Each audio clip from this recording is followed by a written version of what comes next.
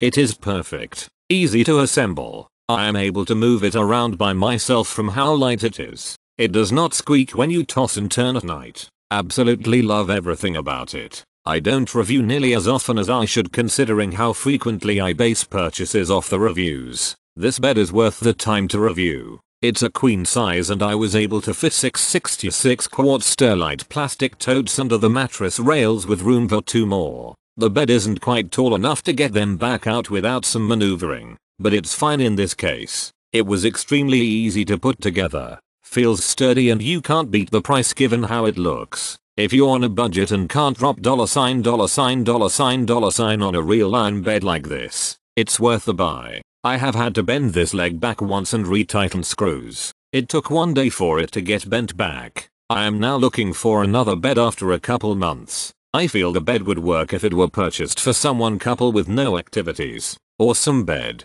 Super easy to assemble. Did it by myself and took just a little over one hour. Sturdy. Backboard not as high as I expected. Covered by the pillows but really pretty bed otherwise. Purchased this bed for a guest room and love everything about it except for the two support legs that are on each side in the middle of the bed. These legs are dangerous. We actually had to wrap them in pipe insulation to prevent a guest from breaking a toe on them. Otherwise, it went together easily and looks great.